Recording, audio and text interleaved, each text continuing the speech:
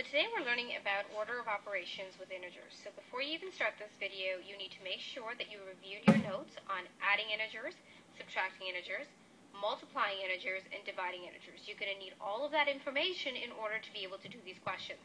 So if you haven't done it, go back right now, go ahead and review it before we get started. So, when we're looking at order of operations, we're always looking at BEDMAS, B-E-D-M-A-S. The B stands for brackets. Now, a bracket can be something that is holding an equation in, so you always solve what's in the bracket. But what students get confused is when there's a number and a bracket next to it with another number in it. This is not the same bracket for BEDMAS. This simply means multiplication. So this would mean that it's 2 multiplied by negative 2. This is not a separate bracket with an equation in it it is only to make sure that the negative sign is separated from the multiplication sign. Okay, so this is not the kind of bracket we're looking at. I'm going to show you another example of what the bracket that we're not looking for. So when there is a question with a bracket um, similar to this, again, this is not the kind of bracket that you're talking about when we talk about brackets in BEDMAS. This is just separating the operation from the integer so that you don't confuse them. Okay, so the next thing in BEDMAS is exponents. And again, we're just going to go ahead and explain what exponents are so you know what it looks like. So if I have 3 to the exponent of 4, that doesn't mean 3 times 4. This is wrong. That is not what it means. An exponent means 3 multiplied by itself by the number that is at the top right hand corner. So in the top right hand corner in this case is a 4, so I multiplied my 3 three times, four times, because my exponent said to do it four times. So that's what an exponent is, and that's what that exponent looks like. So now the next thing we're looking at is multiplication and division. That's the next two things that fall into BEDMAS. And you always do it in the order from left to right. So whatever appears from the left side, you do first before you move on. So if a multiplication part of the equation is there first, then a division, then you go ahead and you do the multiplication first. If it's the other way around, if it's a division first and then a multiplication, you go ahead and you do it in the order that it appears first. So whichever appears first, from left to right, and the same goes for the A and the S, which is addition and subtraction. You do it in the order from left to right. So make sure you've understood BEDMAS before we continue on. So now let's do an example. So I'm going to give you a question, and we're going to go ahead and solve it. The question is the one that you see on your screen. Please copy it down, and we're going to go through it step by step so I can show you how to solve it. So we look at this equation. The first thing we need to solve is, in BEDMAS says to solve the bracket. So we're going to be solving the bracket part first. So we go ahead and we copy the question down exactly the way it is from the beginning because we're not changing the 2, we're not changing the 5. We are changing the numbers written in the brackets, so we're going to go ahead and do the math. 7 minus 10 is negative 3. So we wrote our number in. Now again, we follow BEDMAS. BEDMAS says now the next part of BEDMAS is exponents. Are there any exponents? No, they're not. I'm going to continue down. Uh, there's division. Is there any division? No, there's not. Then the next part is multiplication. So I look at this question. This is my multiplication. When there's a number in a bracket, I know that I have to multiply. So I'm going to go ahead and write that out so I can remember that. I don't want to forget that I need to multiply. So I go ahead and I do my next step. 2 plus, um, 2 plus 5 times negative 3. 5 times negative 3 is going to be negative 15. 2 plus negative 15, again, when we're adding integers, we remember that when the signs are different, we are finding the difference. So what is the difference between 2 and 15? The difference is 13. Which number has uh, which which number has which is the bigger number with the sign. So 15 is the one that is holding the sign. It's the larger number out of the two, and it is negative. So my answer is going to be negative 13. Let's do another example.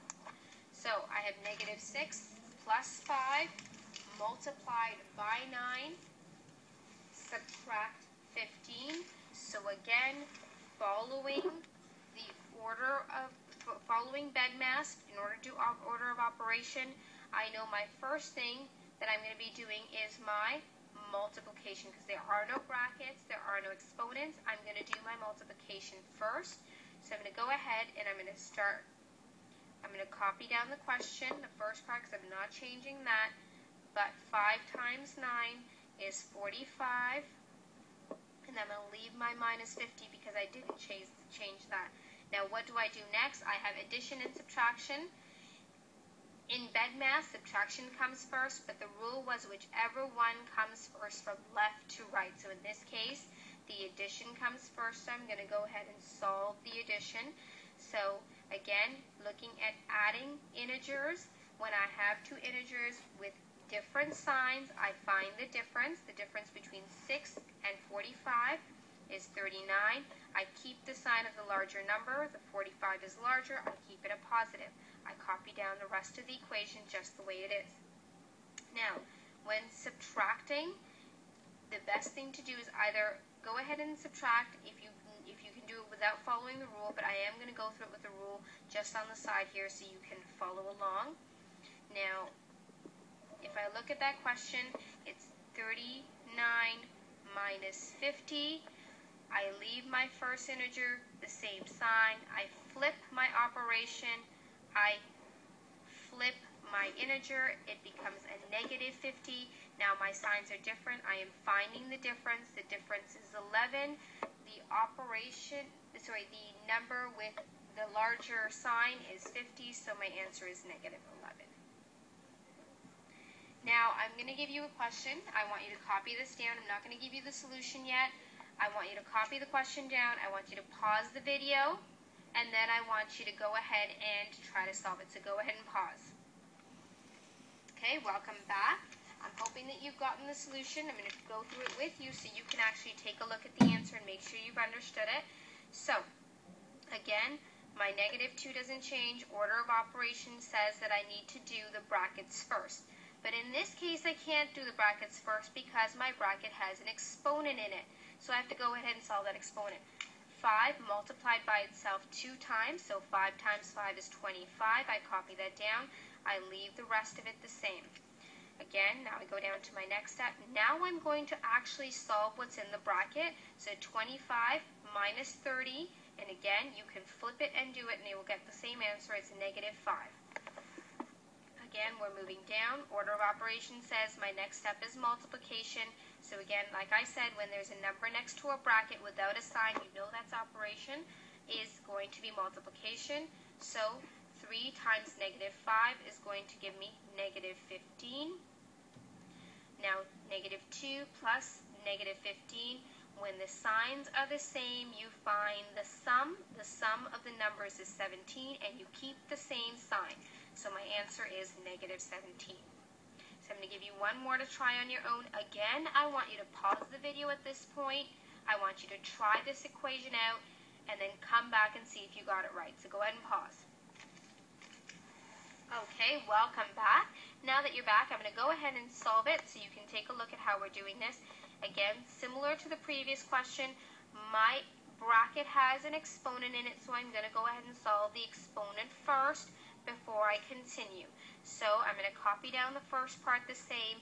3 times 3 is 9 plus 8.